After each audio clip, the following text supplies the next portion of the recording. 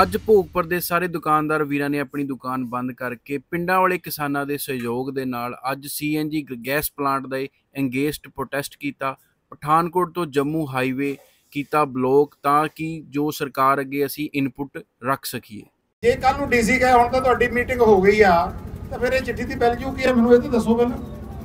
ਫਿਰ ਵੀ ਫਿਰ ਵੀ ਸੁਣੋ, ਫਿਰ ਵੀ। ਅਸੀਂ ਮਾਨਯੋਗ ਐਸਡੀਐਮ ਸਾਹਿਬ ਆਏ ਆ, ਉਹਨਾਂ ਤੇ ਭਰੋਸਾ ਕਰਦੇ ਹਾਂ ਅਸੀਂ।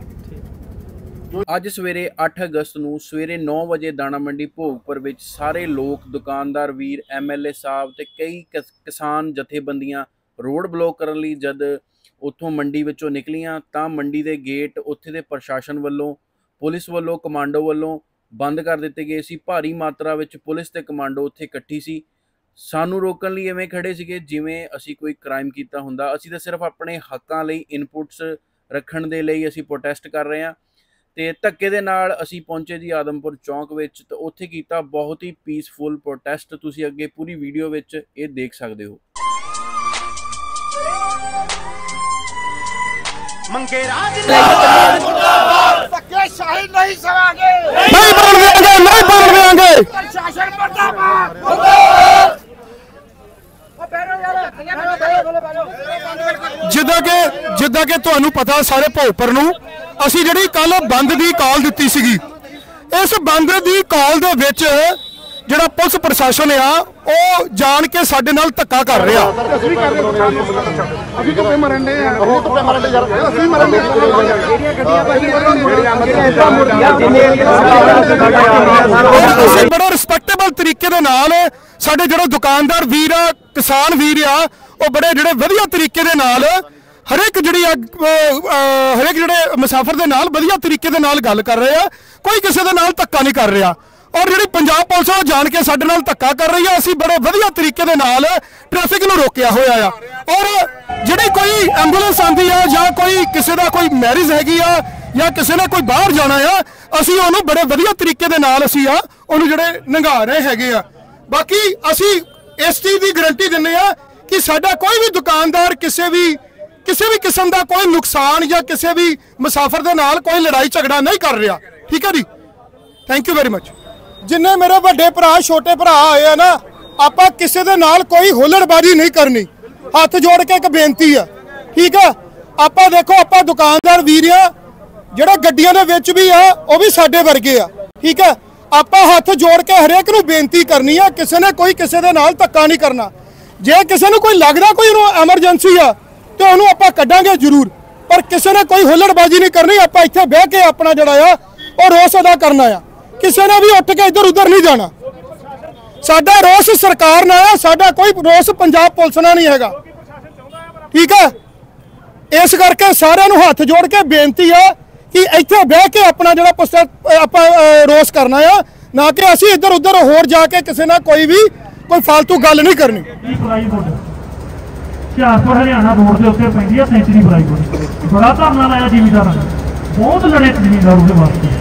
ਪਰ ਉਹਨਾਂ ਨੇ ਇੱਕੋ ਹੀ ਗੱਲ ਦੱਸੋ, ਪਲਾਂਟ ਵੀ ਚਲਾ ਫੈਕਟਰੀ ਵੀ ਚਲਾ ਸਾਰਿਆਂ ਨੂੰ ਪਤਾ। ਅਸੀਂ ਬੈਠੇ ਖੜੇ ਆ, ਹੋਰ ਵੀ ਕਈ ਖੜੇ ਆ ਜਿਹਨਾਂ ਨੂੰ ਪਤਾ। ਉਹ ਪਲਾਂਟ ਵੀ ਚਲਾ ਫੈਕਟਰੀ ਵੀ ਚਲਾ ਗਏ ਤੇ ਪਾਣੀ ਵੀ ਜ਼ਮੀਨ 'ਚ ਪਾਉਂਦੇ ਪਏ ਆ। ਕੋਈ ਮਾਈ ਦਾ ਲਾਜ਼ਮੀ ਦਾ ਦੋਸਤ ਗਿਆ ਉੱਤੋਂ ਸਭ ਤੋਂ ਵੱਡਾ ਉਹਨਾਂ ਨੇ ਲਿਖ ਕੇ ਦਿੱਤਾ ਕਿ ਲਾਗੇ ਨੂੰ ਰੁਜ਼ਗਾਰ ਨਹੀਂ ਦੇਣਾ। ਏਦਾਂ ਦੀ ਖਬਰਾਂ ਨਾ ਪਈ ਧਰਨੇ ਬਹੁਤ ਹੁੰਦੇ ਆ ਤਰੀਕੇ ਇੱਕੋ ਸਾਈਡ ਨਾਲ ਚਲੀ ਜਾਈਏ ਕਿ ਹਾਈ ਹੱਲਾ ਹਾਈ ਹੱਲਾ। ਤੇ ਉਹ ਉਹ ਜਿਹਾ ਪਤਾ ਨਾ ਕਿ ਉਹ ਪਤਾ ਹੋ ਰਿਹਾ, ਬਹੁਤ ਜ਼ਿਆਦਾ ਥੱਲਾ ਪਾਣੀ ਦਾ ਖਰਾਬ ਹੋ ਗਿਆ। ਔਰ ਉਹਦੇ ਬਾਰੇ ਮੈਂ ਬੇਨਤੀ ਕਰਦਾ ਕਿ ਸਾਰੇ ਅਸੀਂ ਕਿਸਾਨ ਜਥੇਬੰਦੀਆਂ ਇਕੱਠੇ ਹੋ ਕੇ ਇੱਕ ਸਲਾਹ ਕਿਸਾਨ ਮਜ਼ਦੂਰ ਏਕਤਾ, ਕਿਸਾਨ ਮਜ਼ਦੂਰ ਦੁਕਾਨਦਾਰ ਏਕਤਾ। ਧੰਨਵਾਦ ਜੀ ਬਹੁਤ ਬਹੁਤ ਧੰਨਵਾਦ। ਉਸ ਤੋਂ ਬਾਅਦ ਸਾਨੂੰ ਜਿਹੜਾ ਅੱਧੇ ਬੰਦਿਆਂ ਨੂੰ ਗੇਟ ਤੇ ਰੋਕ ਲਿਆ, ਕਿਸੇ ਨੂੰ ਕਿਸੇ ਗੇਟ ਤੇ ਰੋਕ ਲਿਆ, ਕਿਸੇ ਨੂੰ ਕਿਸੇ ਗੇਟ ਤੇ ਰੋਕ ਲਿਆ।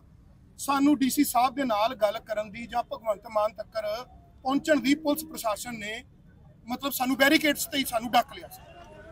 ਔਰ ਜਿੰਨੇ ਵੀ ਸਾਡੇ ਸੱਜਣ ਮਿੱਤਰ, ਸਾਡੇ ਜਿਹੜੇ ਕਿਸਾਨ ਜਥੇਬੰਦੀਆਂ ਦੇ ਜਿਹੜੇ ਵੀਰ ਗਏ ਸੀਗੇ, ਦੁਕਾਨਦਾਰ ਵੀਰ ਗਏ ਸੀਗੇ, ਜਾਂ ਭੋਗਪੁਰ ਤੋਂ ਜਿਹੜੇ ਵੀ ਐਮਸੀ ਸਾਹਿਬਾਨ ਪਿੰਡਾਂ ਦੇ ਸਰਪੰਚ ਗਏ ਸੀ, ਉਹਨਾਂ ਨੇ ਇੱਕ ਮਿੰਟ ਵੀ ਉੱਥੋਂ ਉੱਠਣ ਦਾ ਯਤਨ ਨਹੀਂ ਕੀਤਾ ਜਿੰਨੀ ਦੇਰ ਤੱਕ ਸਾਨੂੰ ਕੁਝ ਲਿਖਤੀ ਰੂਪ ਚ ਨਹੀਂ ਮਿਲ ਜਾਂਦਾ ਉਸ ਤੋਂ ਬਾਅਦ ਸਾਡੇ ਜਿਹੜੇ ਆਪਣੇ ਸੀਗੇ ਜਿਹੜੇ ਪ੍ਰਧਾਨ ਸੀਗੇ ਜਿਹੜੇ ਇਸ ਕਮੇਟੀ ਦੇ ਔਰ ਐਮਐਲਏ ਸਾਹਿਬ ਔਰ ਜਿਹੜੇ ਕਿਸਾਨ ਜਥੇਬੰਦੀਆਂ ਦੇ ਸੀਗੇ ਜਿੰਨੇ ਵੀ ਵੀਰ ਉਹਨਾਂ ਨੇ ਸੀਨੀਅਰ ਜਿਹੜੇ ਲੀਡਰ ਸੀਗੇ ਉਹਨਾਂ ਨੇ ਫਿਰ ਉਹਨਾਂ ਨੂੰ ਉੱਥੇ ਡੀਸੀ ਸਾਹਿਬ ਨੂੰ ਕੰਪੈਲ ਕਰਕੇ ਸੱਦਿਆ।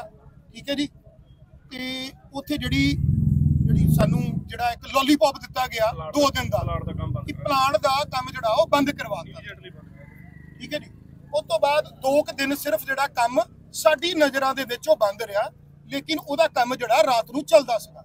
ਕਿਉਂਕਿ ਅਸੀਂ ਉਸ ਤੋਂ ਪਹਿਲਾਂ ਇੱਕ ਡਰੋਨ ਦੇ ਰਾਹੀਂ ਉਹਦੀ ਵੀਡੀਓਗ੍ਰਾਫੀ ਕੀਤੀ ਸੀਗੀ ਜਿਹਦੇ ਵਿੱਚ ਜਿਹੜਾ ਕੰਮ ਬਹੁਤ ਘੱਟ ਹੋਇਆ ਹੋਇਆ ਸੀ ਔਰ ਉਸ ਤੋਂ ਬਾਅਦ ਉਹਨਾਂ ਨੇ ਡੇ ਬਾਏ ਡੇ ਜਿਹੜਾ ਰਾਤ ਨੂੰ ਕੰਮ ਚੱਲਦਾ ਸੀਗਾ ਔਰ ਉੱਥੇ ਜਿਹੜੀ 50-60 ਬੰਦਿਆਂ ਦੀ ਲੇਬਰ ਸੀਗੀ, ਉਹ ਪੂਰੀ ਉੱਥੇ ਮੌਜੂਦ ਸੀ।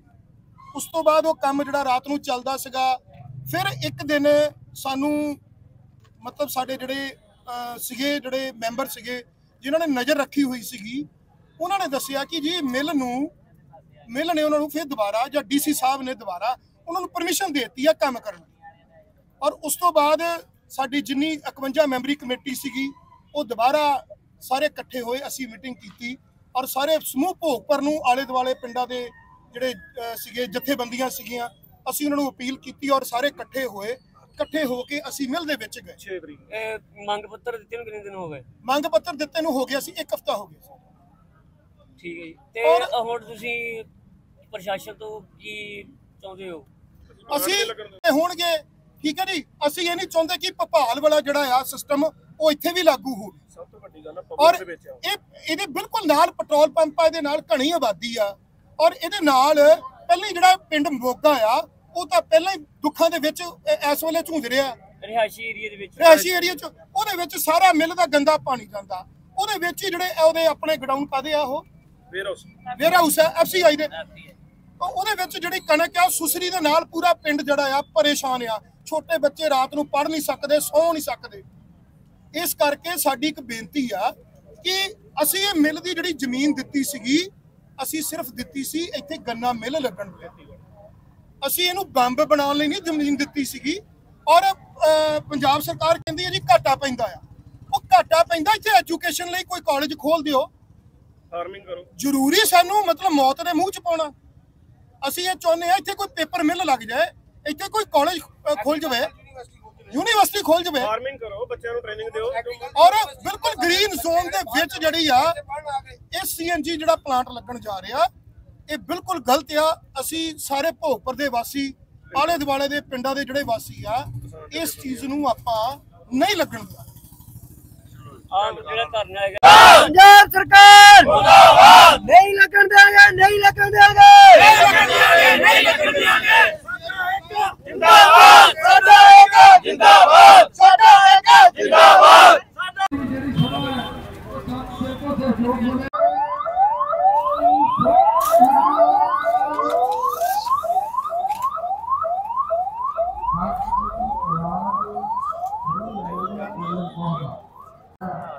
ਇਹ ਦਿੱਤਾ ਗਿਆ ਆ ਮੈਂ ਵੈਸੇ ਇਹਦੇ ਨਾਲ ਬਹੁਤਾ ਸਹਿਮਤ ਨਹੀਂ ਹੈਗਾ। ਠੀਕ ਹੈ?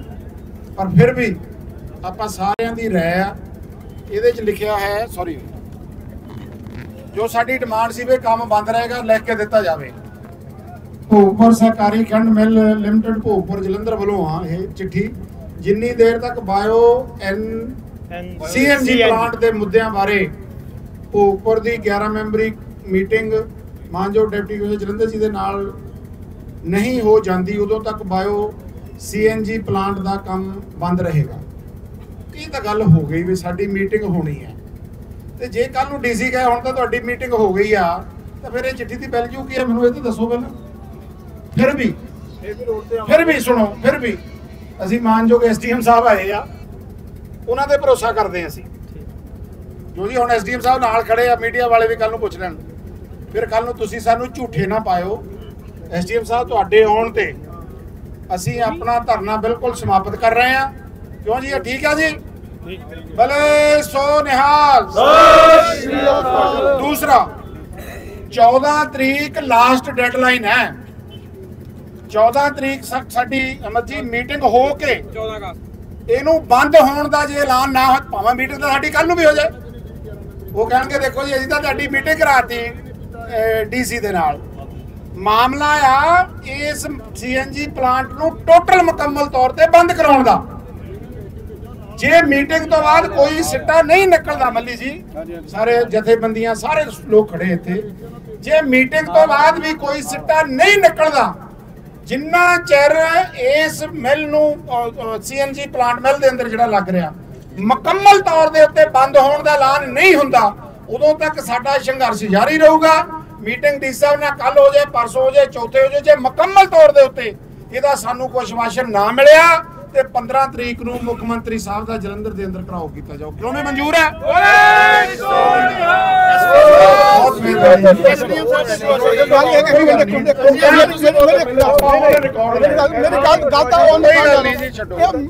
ਲੈਟਰ ਮਾਰ ਤੁਸੀਂ ਕਹਿ ਦਿਓ ਜੀ ਕਹਿ ਦਿਓ ਉਹ ਔਨ ਰਿਕਾਰਡ ਕਹਿਣ ਲੱਗੇ ਆ ਆ ਰਿਕਾਰਡ ਆ ਗਿਆ ਹੁਣ ਜਿਹੜਾ ਅਹ, ਜਿਵੇਂ ਅਸੀਂ ਪਹਿਲਾਂ ਮੰਗ ਰੱਖੀ ਸੀਗੀ ਕਿ ਰਾਈਟਿੰਗ 'ਚ ਚਾਹੀਦਾ ਹੈਗਾ ਉਹ ਅਸੀਂ ਰਾਈਟਿੰਗ 'ਚ ਦਵਾ ਦਿੱਤਾ ਹੈਗਾ। ਔਰ ਜਿਵੇਂ ਐਮਐਲਏ ਸਾਹਿਬ ਨੇ ਕਿਹਾ ਹੈਗਾ ਕਿ ਅਸੀਂ ਜੋ ਉਹਦੇ 'ਚ ਲਿਖਿਆ ਹੈਗਾ ਉਹ ਐਦਾਂ ਹੀ ਬਿਲ- ਬਿਲਕੁਲ as it as it is word to word ਹੀ ਰਹੂਗਾ। ਅਸੀਂ ਕੋਈ ਇਦਾਂ ਦਾ ਇਹ ਨਹੀਂ ਹੋਏਗਾ ਕਿ ਤੁਹਾਡਾ ਕਿਸੇ ਦਾ ਭਰੋਸਾ ਟੁੱਟੇ। ਠੀਕ ਹੈ ਅਸੀਂ ਕੋਸ਼ਿਸ਼ ਕਰ ਇਹੀ ਕੋਸ਼ਿਸ਼ ਕਰਨੀ ਹੈ ਮੀਟਿੰਗ ਜਲਦੀ ਤੋਂ ਜਲਦੀ ਹੋਵੇ। ਪਲੱਸ ਕੋਈ ਇਦਾਂ ਦਾ ਨਹੀਂ ਸਟੈਪ ਹੋਏਗਾ ਕਿ ਨਾਲ ਤੁਹਾਡਾ ਜਿਹੜਾ ਸਾਰਿਆਂ ਦਾ ਵਿਸ਼ਵਾਸ ਟੁੱਟੇ ਠੀਕ ਹੈ ਜੀ ਠੀਕ ਧੰਨਵਾਦ। ਇਹਦੇ ਉੱਪਰ ਸਾਹਿਬ ਸਟੈਂਪ ਸੀ ਕੋਈ ਨਹੀਂ ਹੋ ਗਿਆ।